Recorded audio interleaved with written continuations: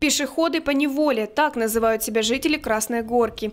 И в снег, и в дождь, и в гололед жители этой части города вынуждены добираться до остановки Охотская пешком. В этот район Севастополя ходит автобус номер 29. Однако попасть на него вовремя стало практически невозможно, рассказывают горожане.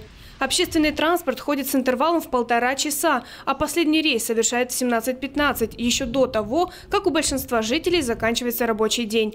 Но как только люди привыкли к графику, автобус стал вовсе пропускать свои рейсы.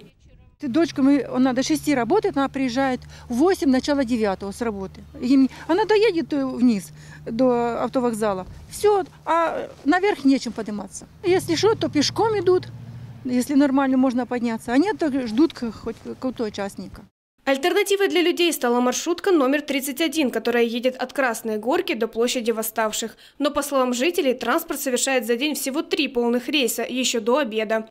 После водитель просто сокращает свой маршрут и продолжает работать по направлению Охотская-Красная Горка, рассказывают люди. По сути, он просто курсирует по Красной Горке сверху вниз. Севастопольцы отмечают, что он перестает ходить после 18.30. Стоимость проезда в этом чудо-транспорте – 17 рублей.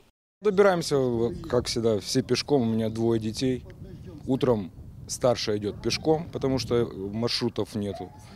Э, с младшей жена идет тоже пешком, даже до автовокзала, до ЖД, потому что здесь невозможно. Вернуться обратно практически нереально. Один маршрут, автобус то ходит, то не ходит, то есть как хотят. Если плохая погода, 100% никого не будет.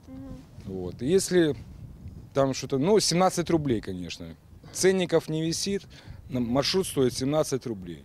Единственный такой маршрут, который едет 2 километра за 17 рублей. Как вы лично добираетесь вот э, с Охотской сюда?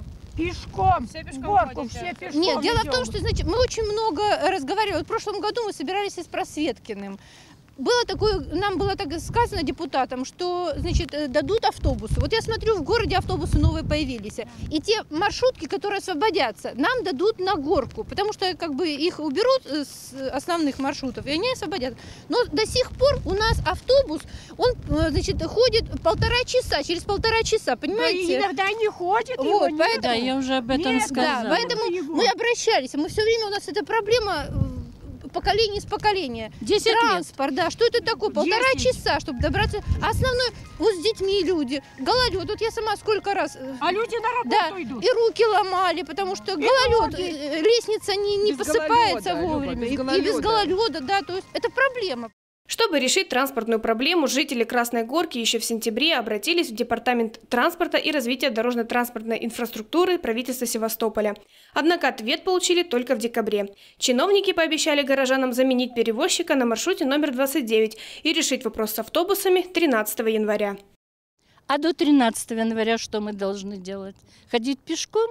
Так оно и было. Я говорю, первого и второго вообще не было автобуса.